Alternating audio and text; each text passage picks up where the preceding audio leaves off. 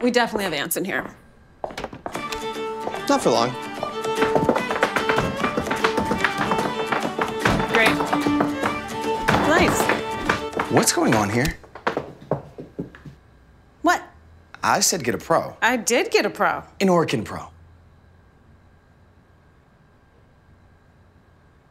I knew this was weird. You're welcome. I got you. Got ants? Don't call any pro. Call the Orkin Pro. With over 120 years of experience, nobody's better. Orkin, the best in pests. You know he wasn't even Irish, right?